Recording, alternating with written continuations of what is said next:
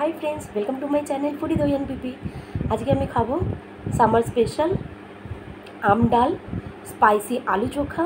এখানে আছে একটা মিক্স ভেজ আর আছে আলুর চিপস তো খুব সিম্পল লাঞ্চ যা গরম পড়েছে তোমরা কেমন আছো বলো। আমি ভালো নেই।